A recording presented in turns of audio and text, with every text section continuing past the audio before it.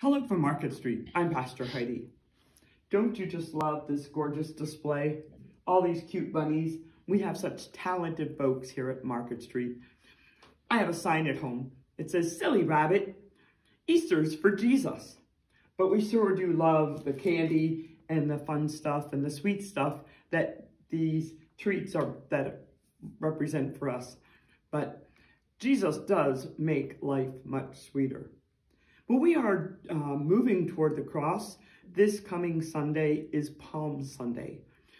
With that, the choir is bringing to us a special presentation. Um, there will be three vignettes. Many folks have brought their whole heart, mind, and soul as they've represented different characters uh, in the Easter story. And there will be three.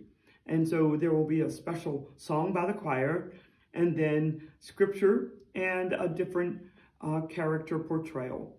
And so it will be uh, a very powerful message uh, of the last week of Christ. So I hope you'll be with us as we continue to journey to the cross.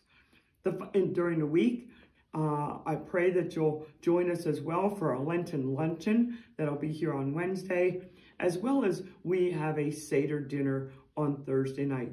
Continue to make plans, join with us for this transformational journey.